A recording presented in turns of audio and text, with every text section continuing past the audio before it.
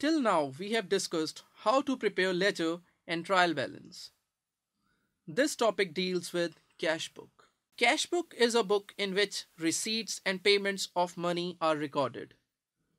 In this lecture, we will cover introduction to cash book, features of cash book, difference between cash book and cash account, and advantages of cash book. Let's start with the introduction. Every business has to witness a large number of cash transactions.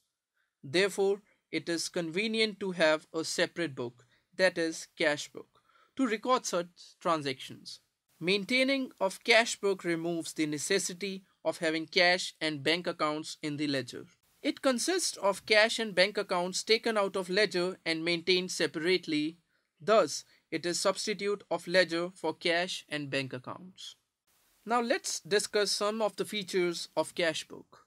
First one is it only records cash transactions. It performs the role of both journal and ledger. Receipts are recorded on the debit side and payments are recorded on the credit side. It records only one aspect of transactions. Transactions are recorded in chronological order. Cash column must have debit balance whereas bank column may have debit or credit balance. Format of cashbook is just like ledger. Unlike any other account, cashbook is balanced daily.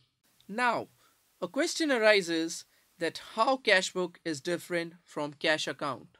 Let's discuss the difference by looking at the graph. Cash account is an account in ledger whereas cashbook is a separate book of accounts forming part of an accounting system. Cash account is opened in the ledger in which posting is done from some book of original entry, whereas cash book records entries directly from transaction and there is no need for a book of prime entry. In cash account, posting is not followed by narration and in cash book, entries are followed by narration also.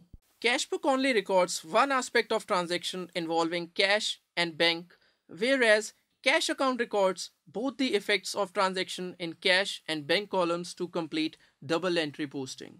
There are numerous reasons why a business might record transactions using a cash book instead of any other mean. Let's discuss about the advantages of cash book. It prevents duplication of work. It is possible to find out daily cash and bank balances. It serves the purpose of book of original entry as well as ledger and the last one is Cashbook also minimizes the chances of errors. Thank you.